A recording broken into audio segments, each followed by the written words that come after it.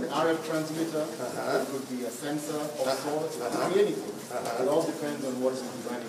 Material that support microelectronics companies, which basically end up being these chips. Exactly. So whereas we- today we import All of which is available. it's available. So if we can uh, interest our partners, ourselves, otherwise import, we're actually having them make them for us. So in that case, TUK, University is a phenomenon. Correct, We have yeah. a member of advanced manufacturing. Correct. As part of the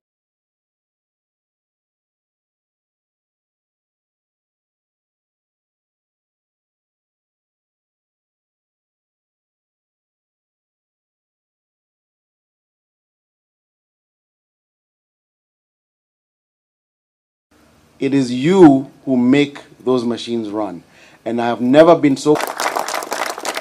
Your Excellency, I offer you greetings from Express quite a bit the need to come and see you as you open. With these wonderful young people in front of us, been able so long ago